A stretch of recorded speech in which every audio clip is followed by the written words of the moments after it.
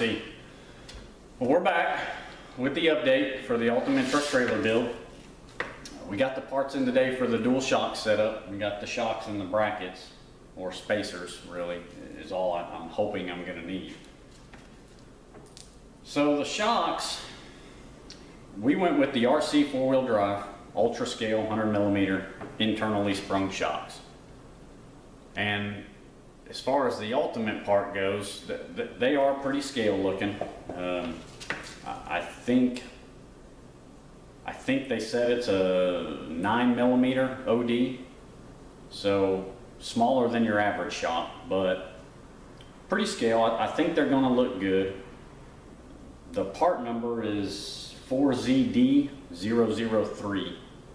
They were about 30 bucks. I actually think we paid 28.99 for them.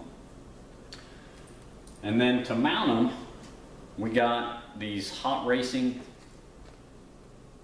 M3 spacers. All they are is just a, an assorted pack of, of different length spacers. And what I needed these for was where the shaft is going to mount on the truss. I needed the spacers to push this shock out just a little bit so that it's straight up and down. Um, well, not quite straight up and down, but, but to get the angle that I needed so that it didn't bind up. The only thing with the shocks, now, these are oilless. They do say to, to coat them with a, a very thin layer of oil on the inside. And these came from the Northeast. I know it's been cold. We just went through an ice storm. Uh, It's starting to warm up a little now, but while in transit, I'm pretty sure that these were probably going through some cold temperatures. So I'm hoping that's, that's what the whole issue is. But if you look, and they stay. Now, there is something really sticky all over this shop.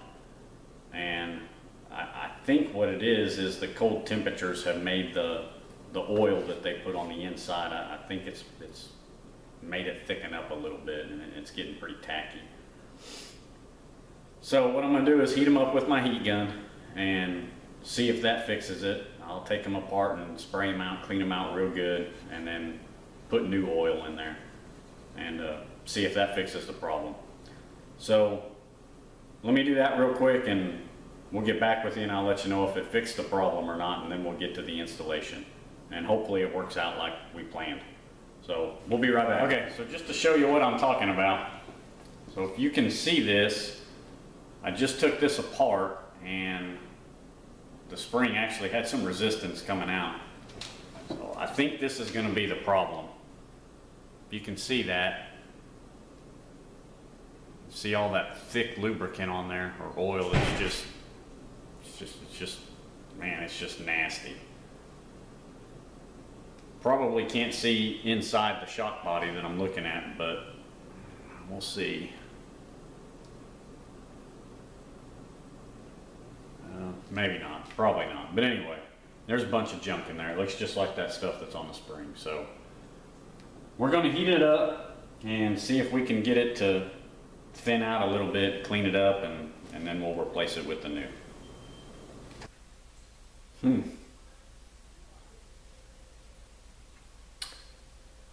Okay. so, listen to me when I tell you guys the whole thing about the heat, what I, what I told you, don't do that. That was probably the absolute worst thing that I could have done. Time lapse between when I just left y'all and now, it's probably about 45 minutes. Uh, all that heat did was make it nasty and a mess. So what I had to do was I took the shocks completely apart, took all the O-rings out, bushing everything out, scrubbed them with Dawn and a toothbrush,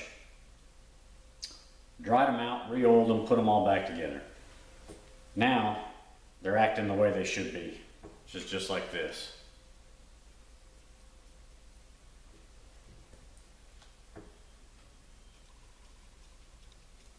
So that's how they should be. So tip from me guys, don't do that. Don't put heat to it, you're gonna make a mess. So, I'll show you what we're, what the plan is on the truck, and then I'll get it done, and we'll see how it turns out. Okay, so the plan, those of you that have ever, ever ran these F9s or, or seen a set, um, they have this little groove right there. If you can see it, it's right there. There's a piece of all thread that comes in this kit that goes all the way through there. Now, I don't know what it's for, uh, but it's going to make an awful good shock mount, I can tell you that much. See this one if you can, see if I can get out of the, there you go, right there. So the shock's going to mount right there, and then we're going to bring it up, and it's going to run in line with this one, and it's going to mount right up here. So basically, if it works right, it is going to look something like that. Something to that effect. So we're going to get the tires and wheels off, uh, find them pieces all thread and get these put in. Now these spacers, these are going to go here. And they're going to push that shock out just a little bit. Uh, I think without them that the shock is, is going to be at too, too drastic of an angle and it's going to bind. So anyway, we'll be back in a second. Okay guys, we're done.